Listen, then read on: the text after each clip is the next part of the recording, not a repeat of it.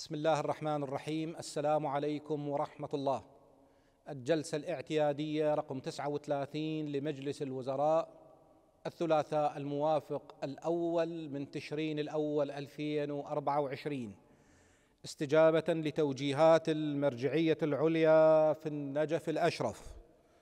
وتنفيذا لرغبة أبناء شعبنا في المشاركة بإغاثة الشعبين اللبناني والفلسطيني.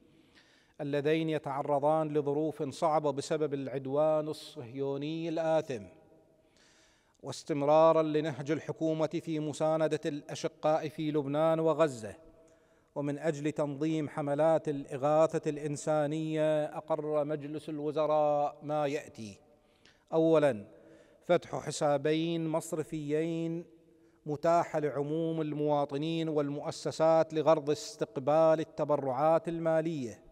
وقيدها رسميا وصرفها في أعمال الإغاثة الإنسانية لأهالي غزة ولبنان وتكون بإشراف رئاسة الوزراء. ثانيا قيام الدوائر كافة التي استلمت مبالغ التبرعات بإيداعها في الحسابات المصرفية الجديدة وقيام ديوان الرقابة المالية الاتحادي بالرقابة والتدقيق على الحسابات. ثالثا كما وافق مجلس الوزراء على تخصيص مبلغ أربعين مليار دينار من احتياط الطوارئ ومن تخصيصات الموازنة المالية إلى كل من وزارة الصحة ووزارة التجارة وجمعية الهلال الأحمر العراقي لتقديم المواد الإغاثية إلى أهالي غزة ولبنان تحددها اللجنة العليا المشكلة في رئاسة الوزراء ويتم شراؤها من قبل الجهات انفا استثناء من تعليمات تنفيذ العقود الحكومية وتعليمات تسهيل تنفيذ الموازنة. وفي المجال التربوي وافق مجلس الوزراء على إجراء امتحانات الدور الثالث للطلبة الراسبين بالدور الثاني للعام الدراسي 2023 إلى 2024 لجميع الدروس للصف الثالث المتوسط ولثلاثة دروس للصف السادس الإعدادي مع استيفاء مبلغ خمسة وعشرين ألف دينار عن كل مادة يؤدي الطالب فيها الامتحان ويستثنى من ذلك الراسبون بسبب الغش ولا يسمح لهم بأداء الامتحانات. وافق مجلس الوزراء على ما يأتي. اولا يكون سعر بيع زيت الوقود النفط الأسود. المجهز للمعامل المجازة أقل وعشرين بالمية من النشرة العالمية. وفقا لقرار مجلس الوزراء رقم أربعة وعشرين ألف وخمسمية وسبعة وأربعين لسنة ألفين وأربعة وعشرين. مع منح خصم مقطوع بخمسة وثمانين ألف دينار للطن الواحد والذي يمثل أجور النقل من المصافي إلى المعامل. ثانيا تعديل قرار مجلس الوزراء المرقم 24242 لسنة 2024 لتتضمن توحيد نسبة تخفيض أسعار منتوجات النفثة الغازولين الطبيعي المكثفات للقطاعات كافة بحيث تباع إلى مصانع البنتان والوارنيش والمذيبات وغيرها من المشاريع المشابهة بسعر أقل بخمسين بالمية من النشرة العالمية ولمصانع الهدرجة بسعر أقل بأربعين بالمية من النشرة العالمية. ثالثا يكون سعر بيع مخلفات التقطير الفراغي للمعامل المجازة بسعر 200 ألف دينار للطن الواحد لجميع المعامل معامل الإسفلت المؤكسد معامل اللباد وعوازل البناء ومعامل الفلانكوت وغيرها.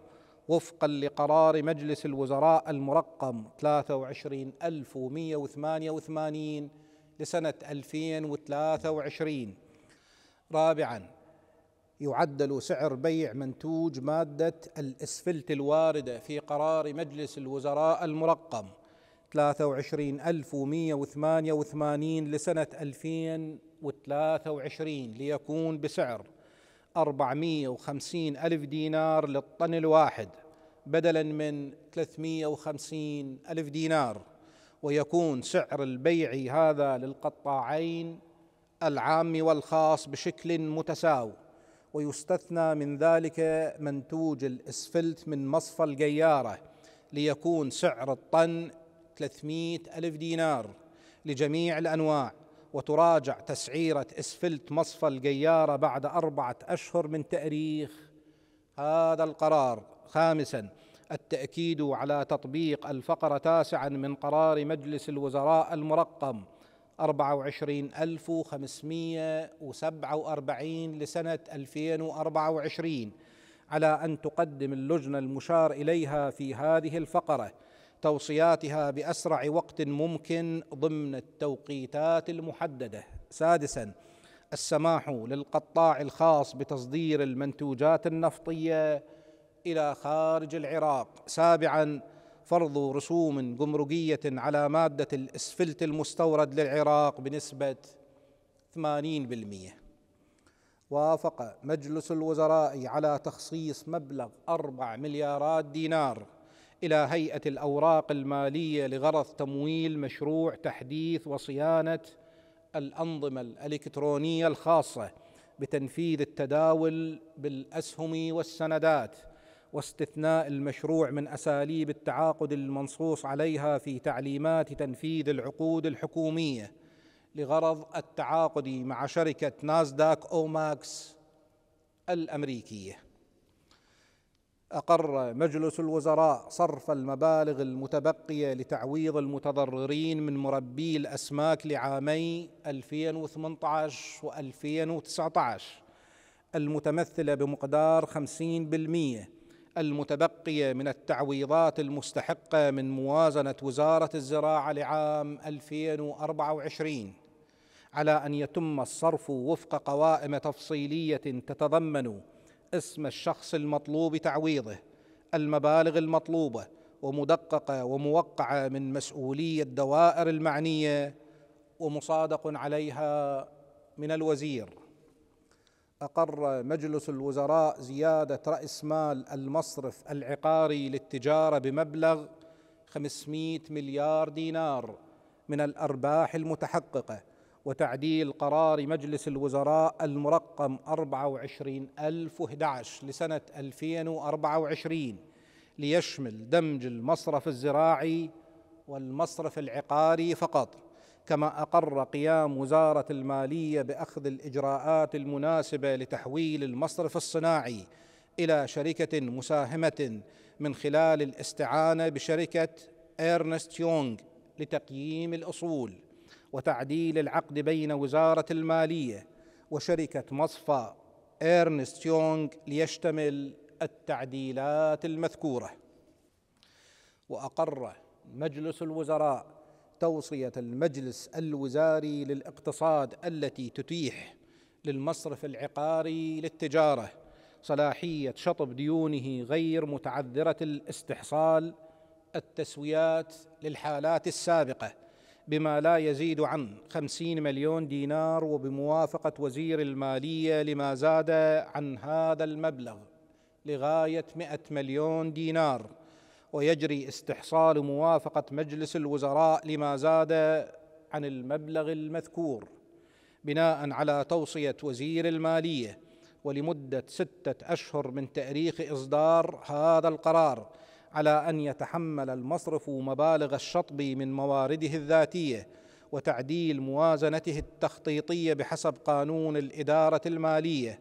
رقم ستة لسنة 2019 المعدل.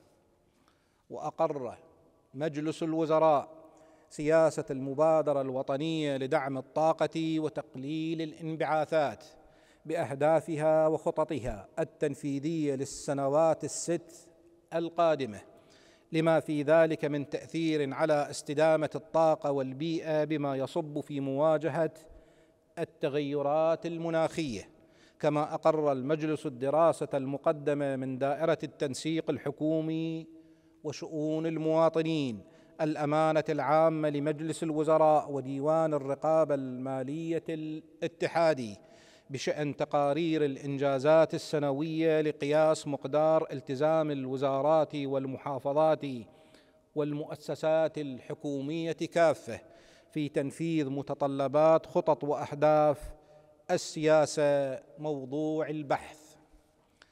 وافق مجلس الوزراء على تعديل الفقرة الثانية من قراره المرقم 165 لسنة 2019 بشأن بيع الدور والشقق السكنية المملوكة للدولة لتتضمن تسديد بدل البيع المتبقي والمتأخر في تسديده سابقا المترتب بذمة المواطنين الموظفين بأقساط متساوية على مدى لا يتجاوز 35 سنة من تأريخ البيع استنادا إلى قانون بيع وإيجار أموال الدولة المرقم 21 لسنة 2013 المعدل ولا يترتب عليه استرجاع أي مبالغ مدفوعة إلى الدولة سابقا. ويتم تسديد كامل المبلغ المتبقي في حالة بيع العقار إلى شخص آخر وأن ينفذ هذا القرار بدءا من تأريخ إصداره.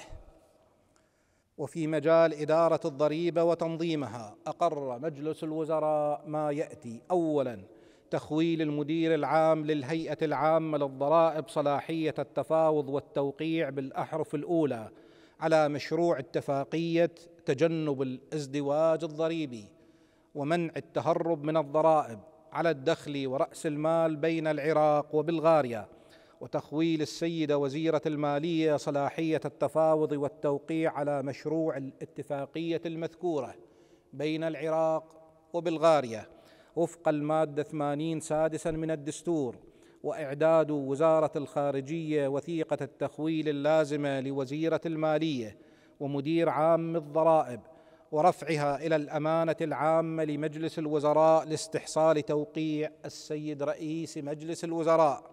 ثانيا إلغاء قراري مجلس الوزراء 103 لسنة 2023 و23396 لسنة 2023 بشأن مشروع اتفاقية تجنب الازدواج الضريبي ومنع التهرب من دفع الضرائب المفروضة على الدخل ورأس المال بين العراق وكرواتيا.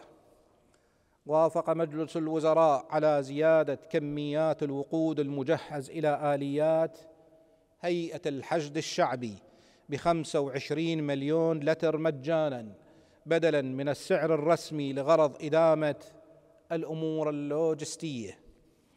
وافق مجلس الوزراء على انضمام وزارة الصحة إلى التحالف من أجل العمل التحويلي بشأن المناخ والصحة على أن لا يترتب على الوزارة أي التزامات مالية أو قانونية.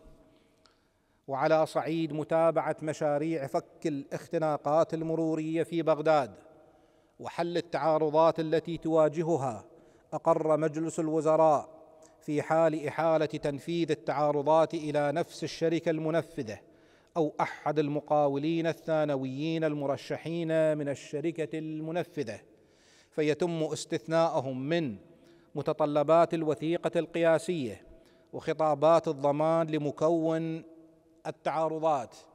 وتمنح وزارة الإعمار والإسكان والبلديات والأشغال العامة الصلاحية لدمج مكونات التعارضات في عقد واحد وأن يسري هذا القرار من تأريخ إصداره على جميع عقود التعارضات بموجب الآلية المرسومة في قرار مجلس الوزراء المرقم 23718 لسنة 2023 وفي مجال متابعة إتمام المشاريع المتلكئة وإكمال مشاريع البنى التحتية أقر مجلس الوزراء ما يأتي. أولاً زيادة الاحتياط لمقاولة مشروع بناء مجمع حكومي في ناحية الريحانة في محافظة الأنبار وتعديل الكلفة وزيادة الاحتياط لمشروع إنشاء مجمع مخزني في الديوانية.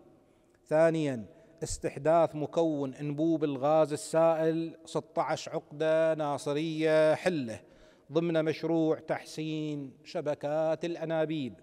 ثالثا زيادة مقدار الاحتياط لمقاولتي إنشاء مستشفى سعة 200 سرير في كل من قضائي القائم وحديثه وزيادة الكلفة الكلية لها. وزيادة الكلفه الكلية لمشاريع إنشاء ثلاث مستشفيات تعليمية سعة 400 سرير. في كل من محافظات كركوك والمثنى وواسط. وأربع مستشفيات عامة سعة مئة سرير بمحافظة صلاح الدين. في كل من أقضية الدجيل والدور وسامراء والطوز. وزيادة الكلفة الكلية والاحتياط لمشروع مستشفى 200 سرير في هيت بمحافظة الأنبار. رابعا زيادة الكلفة ومقدار الاحتياط لمشروع تأهيل مغذي قرى السدير في محطة السدير مقاولة 18 لسنة 2019 في الديوانية. خامسا زيادة الاحتياط لمقاولة مشروع بناء مدرسة نموذجية. 18 صفا في الفلوجة. حي الشهداء. المدرج مكونا في ضمن مكونات مشروع إنشاء مدارس نموذجية. 18 صفا في عموم المحافظة. عدد 18 مع إنشاء مدرسة. 24 صفا. و12 صفا نموذجية. الرمادي الفلوجة. عانة القائم راوة هيت حديثة الرطبة. القرمة. سادسا وبشأن مشروع مجاري محافظة النجف ميم اثنين. وجه السيد رئيس مجلس الوزراء بتأليف لجنة تتولى مراجعة أوامر الغيار الخاصة بالمشروع والمرفوعة من وزارة الإعمار والإسكان والبلديات وتقديم المقترحات اللازمة لمعالجة المعوقات خلال ثلاثين يوما إلى مجلس الوزراء. شكرا.